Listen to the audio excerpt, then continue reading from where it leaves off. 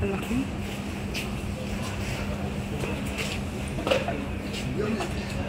Ay, ay, pwede pala din yung picture dito. Saan ba to? Alat na naman kayo. Sasabihin nyo naman sa amin sa kubo. Minimarkt lang dabei, Fleischmarkt, Weiße. Drinks,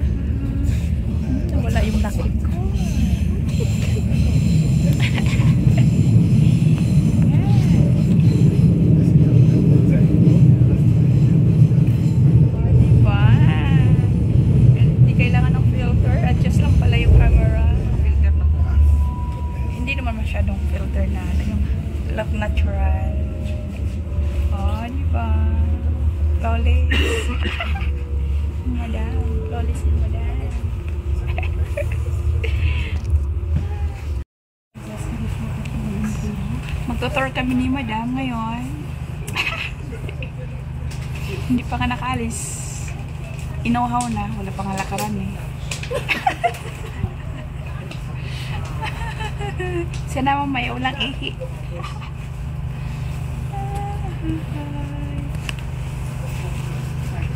Ay. Ganon. Yung blue, blue sige.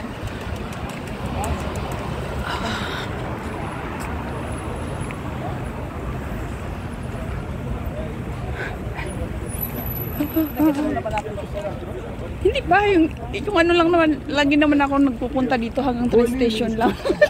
yung tayo nga lang yung ano eh. bumaba, bumaba.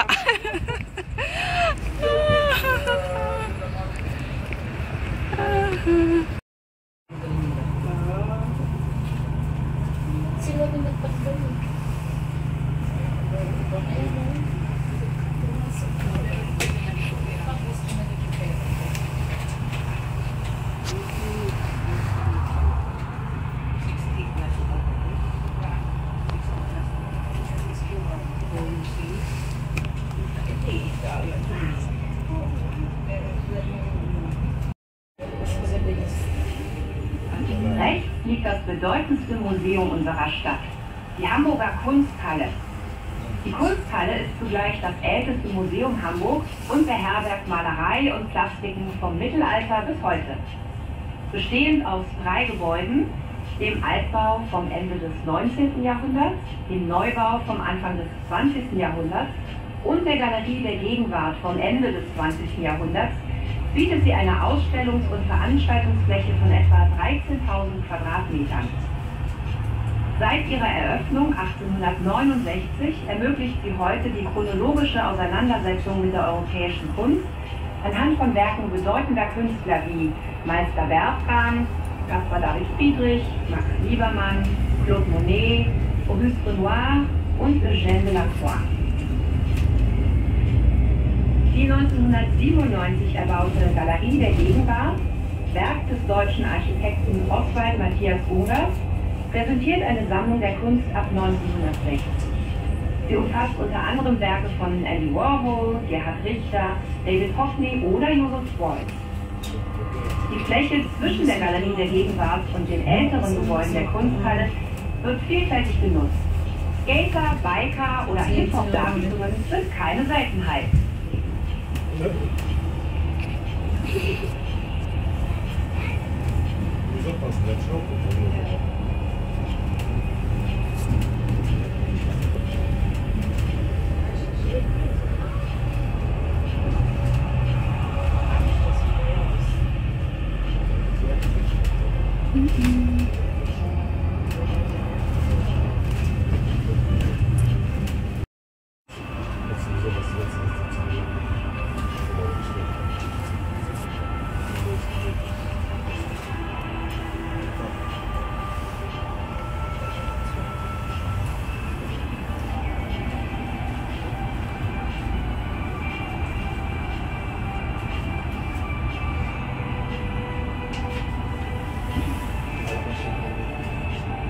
Yes.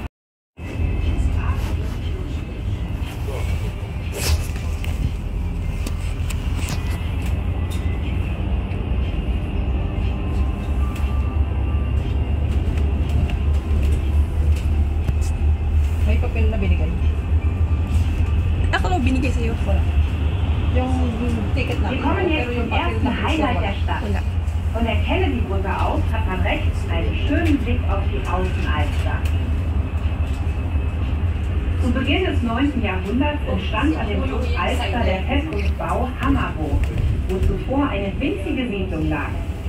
Im 13. Jahrhundert staute ein Damm das Flusswasser der kleinen Alster zu einem riesigen See auf, dem Mühlenstausee. Seinen Namen bestimmte dessen Zweck, das Betreiben von Mühlen. Er umfasste das heutige Gebiet der Binnen- und Außenalster. Die Außenalster ist zwar mit ihren 2 bis 4 Metern Tiefe recht flach, jedoch mit rund 160 Hektar Fläche fast so groß wie das Bund. Einer Fläche von fast 400 Hektar beherbergt er über 36.000 Bäume, 450 Laub- und Nadelgehölzarten und 15 Teiche umfasst sein Gelände. Achtung, wir halten gleich an unserer rechten.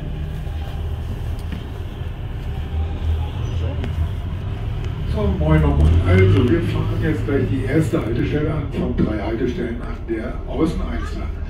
Falls irgendjemand aussteigen möchte, einfach den Halteknopf drücken oder unten kommen. Ich schaue das, aber ich sehe das auch. Ansonsten danach geht es dann in die Innenstadt. Da haben wir als nächsten Halt dann den Rathausmarkt. Auf jeden Fall wünsche ich erstmal viel Spaß.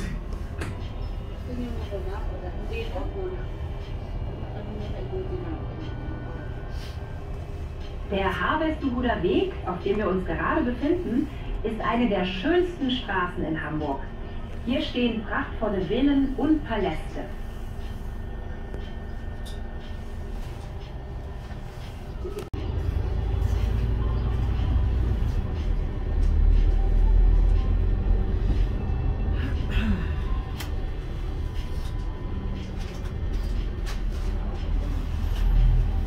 Links sehen wir die berühmte Snowmanburg.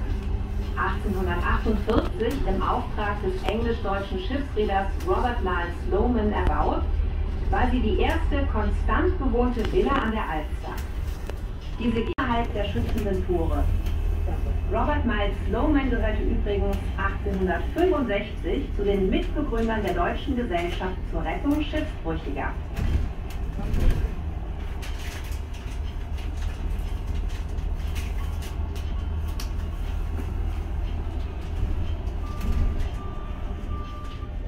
Links im prächtigen Wutke-Palais befindet sich die Hochschule für Musik und Theater.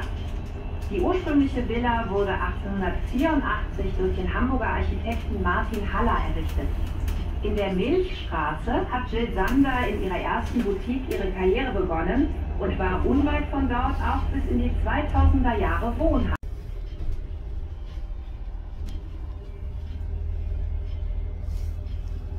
Hinter der Milchstraße befindet hier liegt das idyllische Seeufer und bietet zur schönen Aussicht auch kulinarische Freuden. Links stehen die neu gebauten Alsterwellen. Sehr schick, sehr modern und sehr teuer.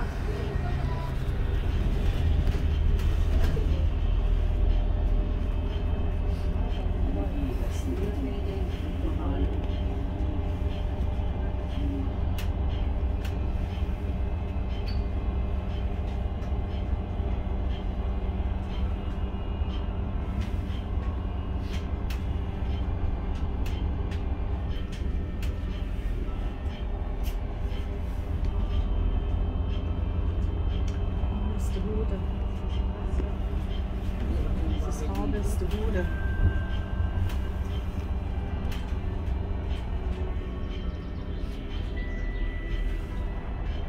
In der gelben Villa rechts befindet sich der berühmte Anglo-German Club. Der Club wurde 1948 mit dem Ziel gegründet, die deutsche freundschaftlicher Basis zu fördern. Die Villa selbst wurde 1860 von dem Hamburger Baumeister Martin Haller als Wohnhaus erbaut. Nach 1945 wurde sie von der britischen Besatzungsmacht beschlagnahmt. Mittlerweile ist es sogar Frau. Rechts an der Kreuzung liegt das ägyptische Konsulat. Vor uns erstreckt sich der Eichenpark. Die Bäume dort sind zum Teil über 500 Jahre alt. Das einstige Zisterzienserinnenkloster, das sich hier befand, wurde im Zuge der Reformation 1530 abgerissen. Wir befinden uns jetzt im Stadtteil Harvestehude.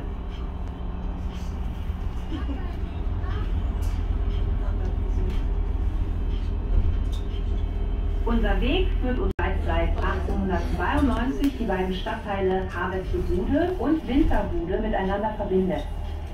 Die Endung Hude bezeichnet übrigens eine langjährige Stein- und Stahlbrücke, die es so seit 1928 gibt, kommt die Alster noch als Fluss. Rechts erstreckt sich hingegen die gestaute Außenalster. Bis zum Zentrum Hamburg sind es von hier drei Kilometer.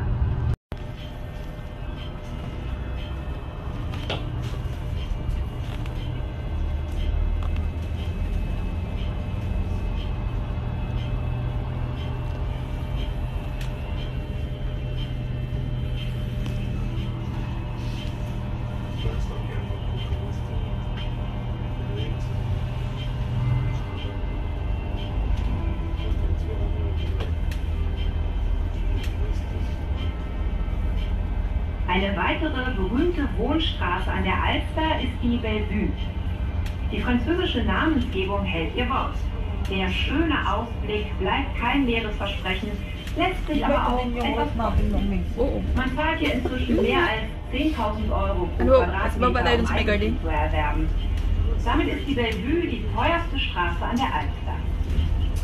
Das Gelände war früher durch die Aufstauen der? Alster Ha? Überschwemmungs- Fahrrad soll nicht nur als Freizeitobjekt sondern auch als Verkehrsmittel für den Arbeitsweg eine gute Alternative. Es entsteht in Hamburg ein weites Verkehrsnetz aus Velo, Freizeit- und Nebenrouten, die fortschreitend miteinander verbunden werden. Bis 2025 soll eine Gesamtlänge der Veloroute von 280 Kilometern entstanden sein. Künftig werden auch durch Fahrradfahrer besonders nachgefragte Straßen, sogenannte Fahrradstraßen, fertiggestellt, wie etwa an der Außenalster.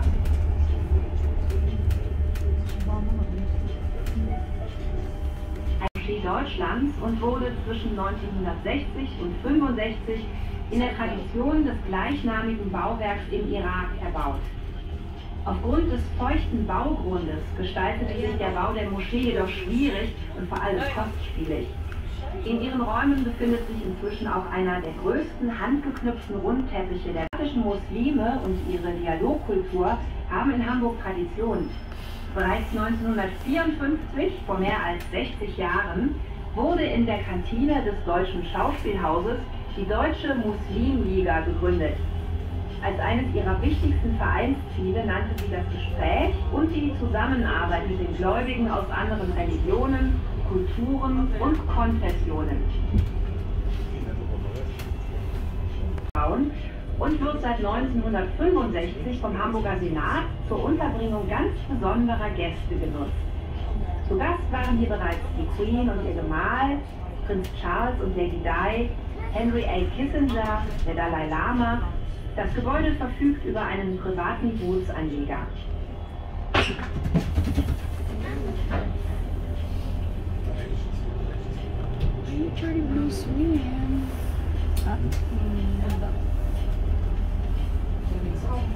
Kailangan natin bumaba doon niya sa, sa garden.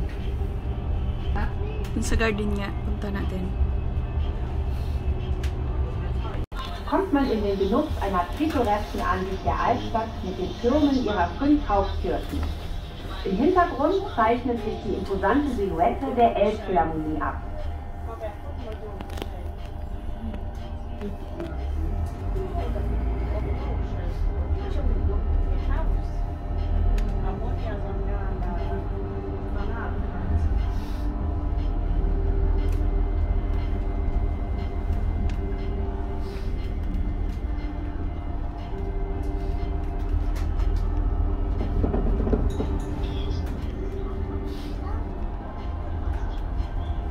Entlang der nächsten ein bis zwei Kilometer kann man außer im Winter auf der Alster die prächtigen Alsterschwäne beobachten. Diese Schwäne schmücken den See seit dem 17. Jahrhundert und gelten seither des Schwanenbestandes auf der Alster bewusst und richtete bereits im 11. Jahrhundert ein Amt für Schwanenwesen ein. Seit 1674 kümmert sich sogar ein Schwanenvater um die etwa 120 Vögel. Die Schwäne werden im Herbst für einige Monate in ihr Winterquartier am Eppendorfer Mühlenteich gebracht, der für die Tiere gezielt eisfrei gehalten wird. Eine alte Legende besagt sogar, dass solange stolze Schwäne auf der Alster ihre Runden ziehen, Hamburg eine freie und wirtschaftlich erfolgreiche Hansestadt bleibt.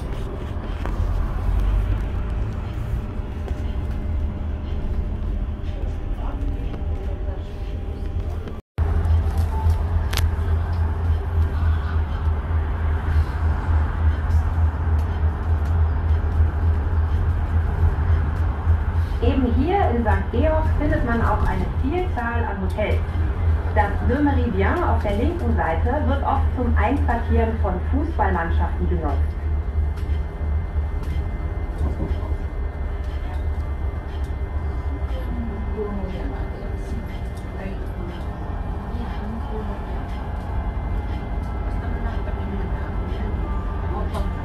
Das Hotel Atlantik allerdings ist das bekannteste und exklusivste Hotel hier im Norden.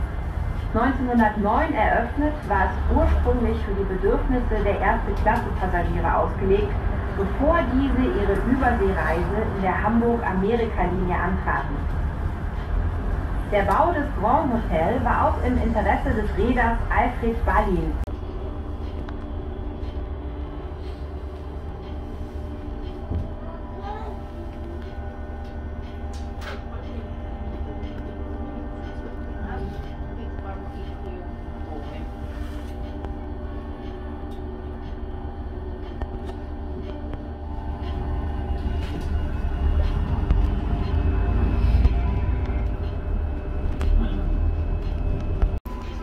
Befinden uns nun auf dem Jungfernstieg, der einstigen Planiermeile für unverheiratete Töchter. mamaya yan. Seit der ehemalige Resendamm 1665 gepflastert wurde und eine Promenade mit 200 Linden angelegt wurde, gilt dieser Ort als Promeniermeile. Links liegt der traditionsreiche Alster-Pavillon funktionalistischen 50er Jahre Architektur. Rechts besteht seit 1912 der legendäre Einkaufstempel, das Alsterhaus. Damit eröffnen sich uns die heutigen Hauptnutzungsarten des Jungfernstiegs. Er ist Einkaufsmeile und bietet eine Vielfalt an Rückzugsorten, die der Rekreation zugutekommen. Zudem eint der Jungfernstieg unter sich ein breites Netz an U- und S-Bahnlinien, das sich seit der Haltestelleneröffnung 1931 stetig weiterentwickelt. Die Bahnstation Jungfernstieg ist die Hi.